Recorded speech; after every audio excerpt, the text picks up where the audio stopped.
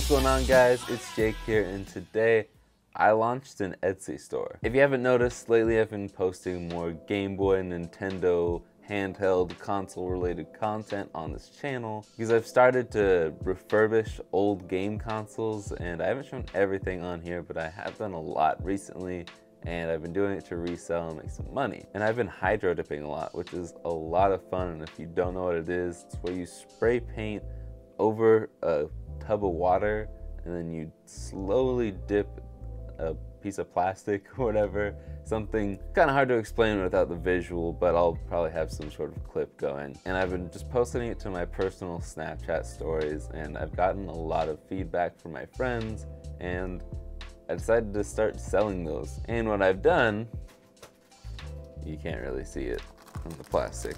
And what I've done is bought a couple of Game Boy Advance shells and hydro dip them. I try and make every single one unique and so far I've done five, but I hydro dip these and then it comes with a brand new plastic screen lens, all new buttons, the rubber pads, the sides, everything you need. It even comes with all the screws and the screwdrivers that you need because Triwing, not everybody has one, and it even has the back sticker that I pre-applied for you. The only thing that you don't get with this is you don't get the actual console itself.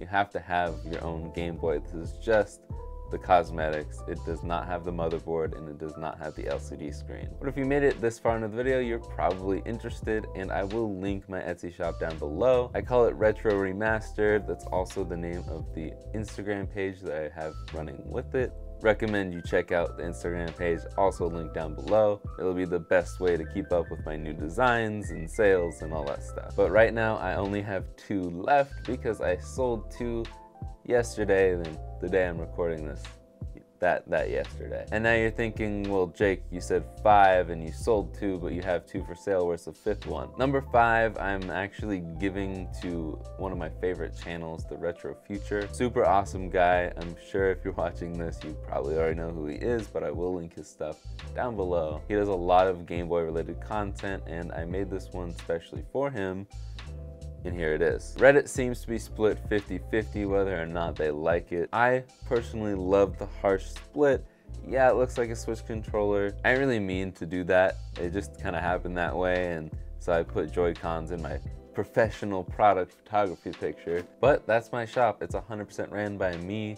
It's all my money. It's all my work. I really enjoy it. Also, if you'd like to request a Game Boy Color, an original DMG shell, a pocket shell, let me know. Best way to come in contact with me, follow me on Instagram at Retro Remastered. I'm new to Etsy, I'm learning, but it's not that bad. But I think that's gonna be it for this video. If you enjoyed this video, hit that like button because Brittany always wants you to.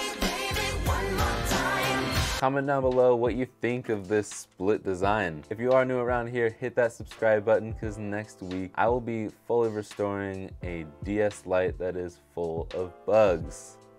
Yeah, full of bugs. Very disgusting. But if that's something you're into, hit that notification bell so you can get notified when that video goes live. But uh, that's it for me, so I will see you guys in the next one. Later, guys.